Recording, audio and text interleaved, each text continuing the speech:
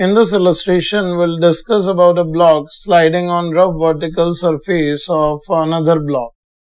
Here the figure shows a system of two blocks connected by an ideal string. Here ground is smooth but the friction coefficient between the blocks is mu. And we are required to find the acceleration of small m block and we are also given to take uh, capital M is equals to twice the small m. Now to analyze the situation, we first need to analyze all the forces acting in the system. Let's uh, have a look on this figure where we distribute forces. If uh, string tension is taken as T, everywhere uh, the tension value will remain T. A normal reaction will be acting between capital M and ground, say it is N1, and another normal reaction is acting between uh, the small block and M, say it is N2. And here, if uh, the block of mass capital M moves toward left with acceleration A, then these two strings will also get shortened by a distance twice the distance capital M moves. So we can say small m will move down with an acceleration 2a. And along with this acceleration, small m is also moving toward left with capital M. So here, if we draw the free body diagrams of uh, capital M and free body diagram of a small m. Here we can see in case of capital M, downward is its weight, capital Mg. Upward is the normal reaction N1 toward right, it is N2. Toward left, uh, these two tensions are acting on it, which is 2T. One tension on this pulley is in downward direction, which can be taken here, T. Now, if we talk about the friction, as M will be sliding down, friction will act on it in upward direction on capital M in downward direction and the value will be mu N2 because mu is the friction coefficient and N2 is the normal contact force between the blocks. So here a force mu N2 will also be taken.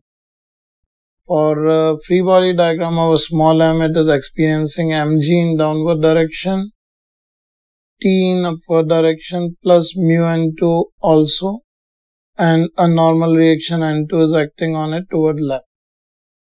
And as block is moving toward left with acceleration A and small m is also moving with acceleration A and it is also going down with acceleration 2A. Now we can write the equations of motion for these blocks. For uh, capital M here we can write the equation as uh, 2t minus n2 is equals to its mass is 2ma. Say this is our first equation. For a block of mass small m, here equation we can write as n2 is equals to ma. This is our equation 2.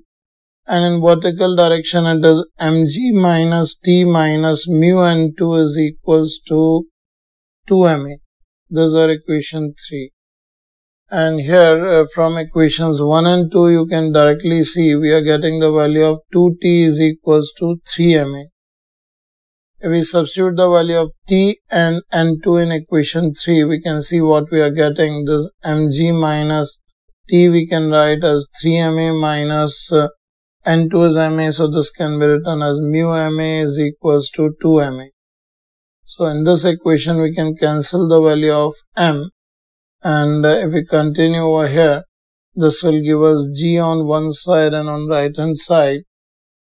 We are having acceleration and this will be 3 plus 2 5 plus mu. So on simplifying we are getting the acceleration as g by 5 plus mu which is the acceleration of a bigger block. For the block of mass m you can see it is going toward left with a going down with the acceleration 2a so acceleration of a small m can be written as root of a square plus uh, this 2a whole square which is uh, root 5a. This is the resulting acceleration of a small block. So this given as root 5g by 5 plus mu that is the final result of the problem.